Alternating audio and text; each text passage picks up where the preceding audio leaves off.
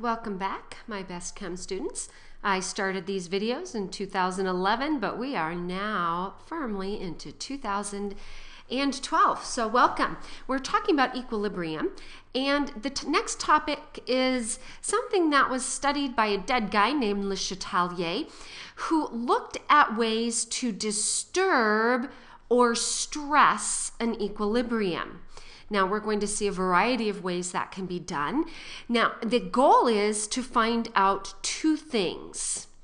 One, is the reaction going to shift? We talk about a shift to form more product.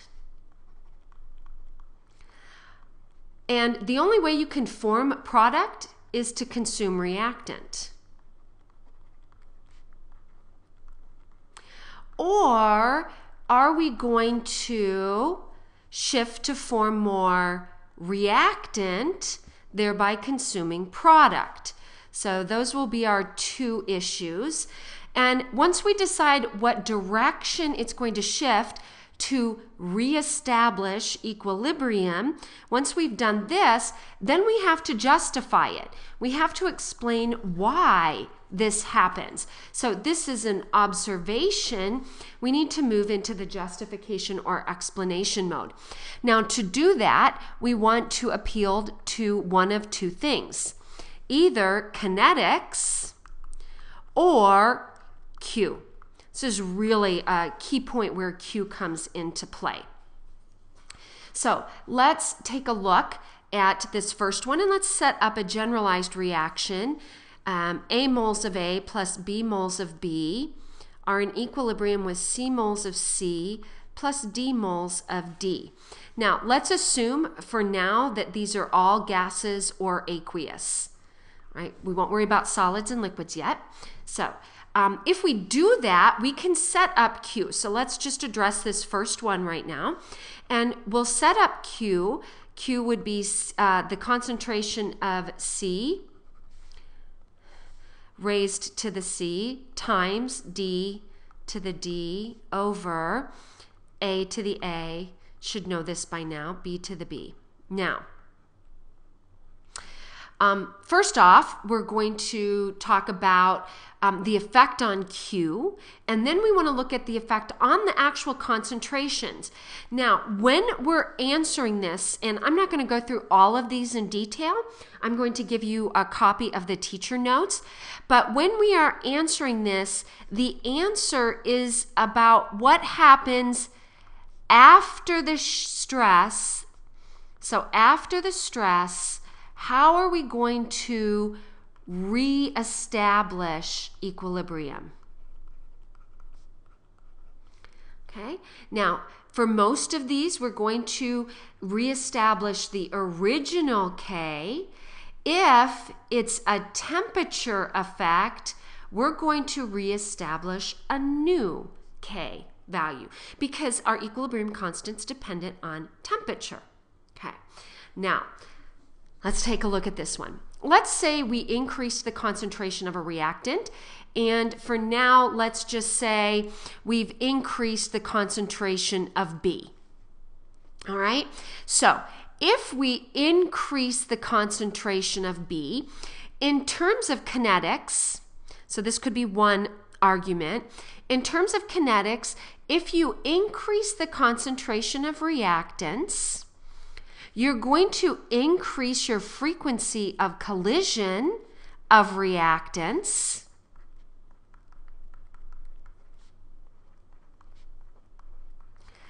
And what's going to happen is that the rate forward will end up being greater than the rate reverse until we get to K again, till we reach that magic K ratio. Okay, so that's a kinetics argument. In terms of Q, if we increase the concentration of B, we decrease Q. Now, at equilibrium, Q is equal to K. When we've done our stress, so the stress causes Q to be less than K. When Q is less than K, so this is going to cause a decrease. It's going to make Q less than K. And that means we're going to shift to make more product.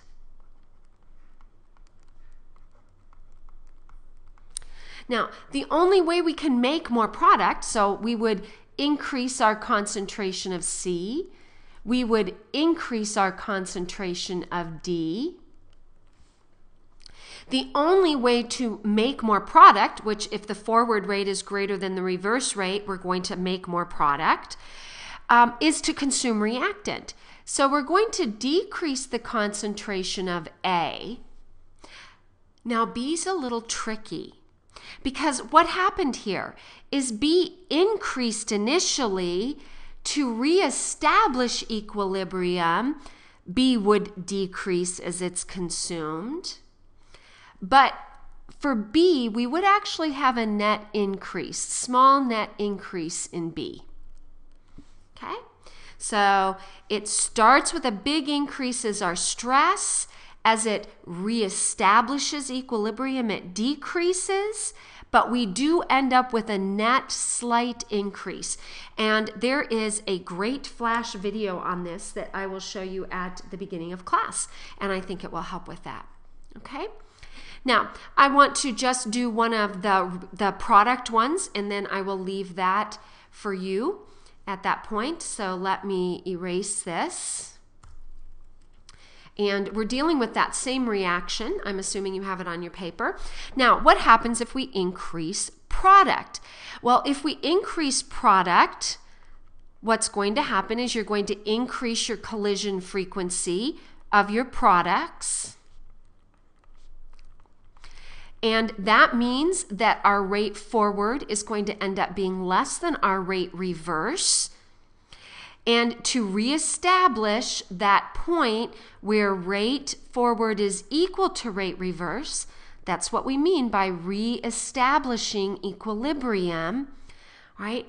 We uh, if the rate reverse is faster, that means it's going to shift to make more product. Excuse me, to make more reactant. Sorry about that. So if you add, you consume to get back. If you remove, you replace to get back. So that's another way to kind of memorize the direction, but that's not enough to help you with the justification. So if you add, you'll remove, you'll um, remove.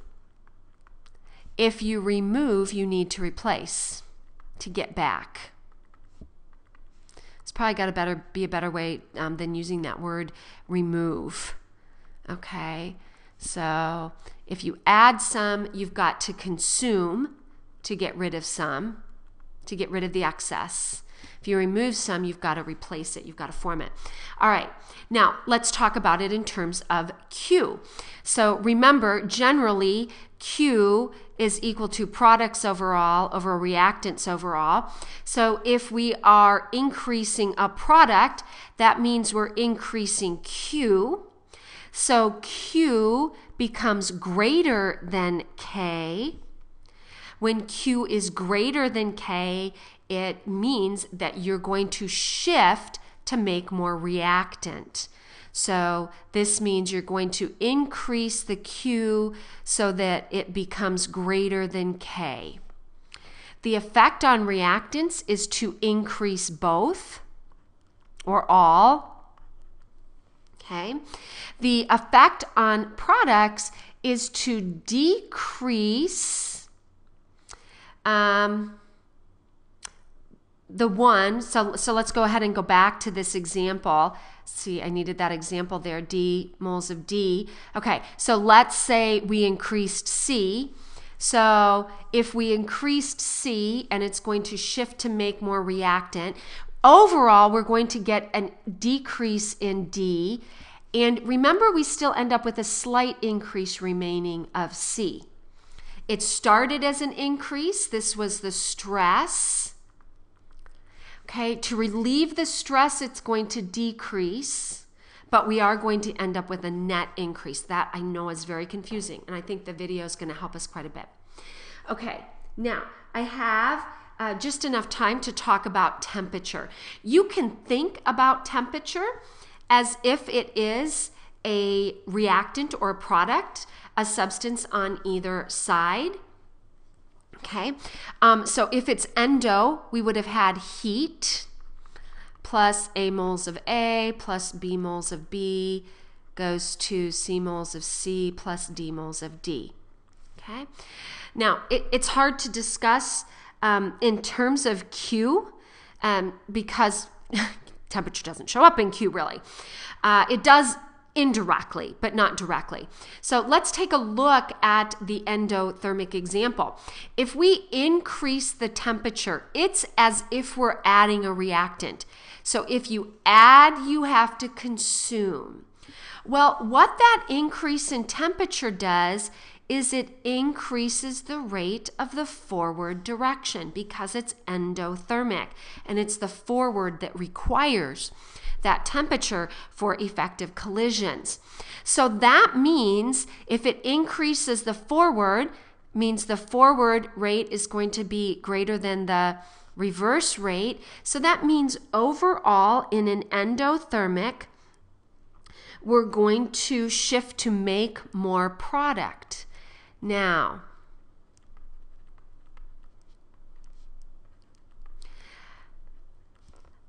often what you can do on this is in your justification, I think it's a very key one, is say the word since it is endothermic. I think that's really the key part of your justification. Since it is endothermic, the reaction will shift to make more product. That means all of your reactants, especially the ones that are aqueous and gas, is what we're talking about right now, will decrease. And that means all of your products that are aqueous and gas will increase. All right. Now, here's what's key about temperature. And I'll give you, you know, my key. I'm not going to do any more on these, but I, hopefully it gives you the, a, a good overview of that. Is the key with temperature is that this reestablishment is going to be the reestablishment of a new equilibrium. And we'll see the mathematics of that in a couple of videos from now. Um, uh, I, I cover it. It's not on the AP test, but I think it's a very, very important concept to understand at this level. So when you justify these, I think a key, I don't think, I know, a key statement you want to make is since it's exothermic or since it's endothermic, um, and then follow up with your next statement. Now, there is this little pencil trick that we teach in pre AP, and I can teach you that if you're having trouble with that, but you still have to know how to justify. All that will do is get you to this, and that may or may not be worth a point. Often it's worth one point, and then the justification is worth a second point. Sometimes together they're worth one point. So it depends on how the question's worded. So the little pencil trick will give you the direction of the shift to reestablish, but it won't help you with your justification. So uh, you want to make sure you talk to me in class if I can help you more with this. So we're going to move on to this until the next video. This is signing off.